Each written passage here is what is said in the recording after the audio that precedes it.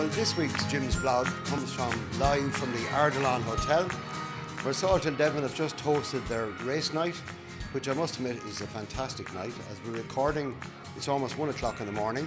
We've had 37 races. We've had shocks in the best of form. We've had people dancing, singing, with people up on tables and chairs, as you'll probably see some in the blog. But it was a fantastic night. We had great sponsorship, we had great support a wonderful night had by all. So listen, make sure this time next year you're around for the annual race night for Salton Lake. Welcome, Shine and Dano, Hawaii 5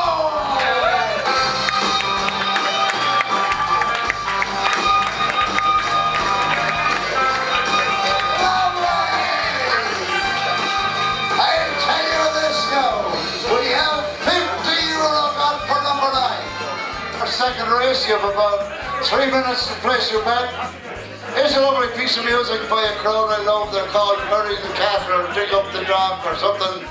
I can't remember what their name is. I just like the music.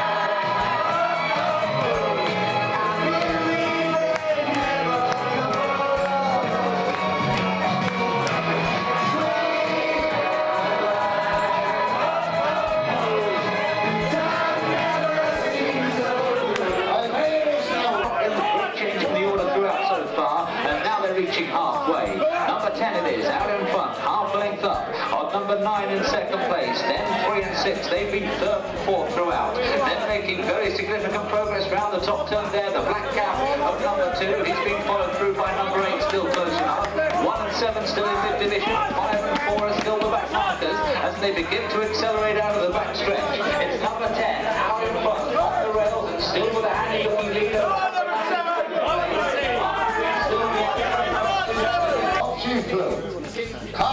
To the suspense is killing me. Sit enough. All those of you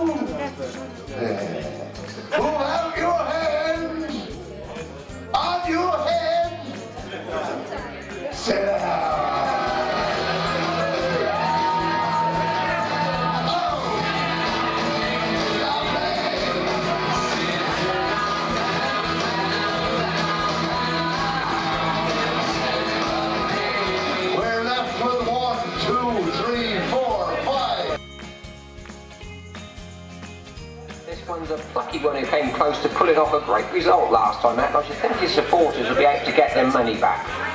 Well, poor old number five is a little bit outclassed country for this one. Number one, he's a lazy so-and-so, and it's his first run for five months. He might not take too kindly to having a sabbatical interrupted. Number two.